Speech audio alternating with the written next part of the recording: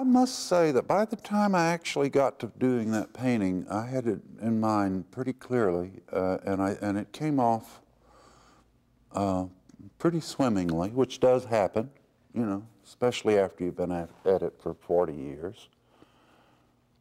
Uh, it, it came off pretty, pretty, pretty smoothly as far as I didn't have any, you know, emotional crisis or anything, which sometimes does happen, especially with the big pieces. And you, because you don't want to put you, you don't want to put any work out that doesn't have about it the evidence of inspiration. And uh, and you don't want to put out any work that doesn't work. And uh, especially something that's what nine feet or ten feet across, like that painting. Well, it's not too far from where I live in Galisteo, New Mexico. Uh, and it's sort of a landmark, the geologic formation. It's the slang word for it around the area is the hogback.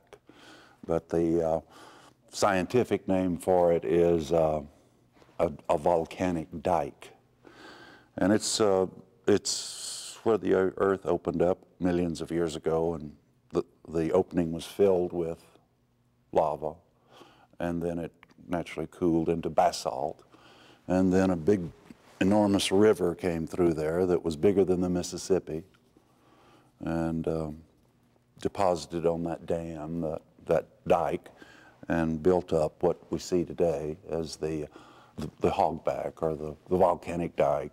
Uh, it's south of Galisteo, about five miles, and it has uh, incredible petroglyphs on it amazing, world class, life size warriors with uh, shields and things like that on those dark rocks.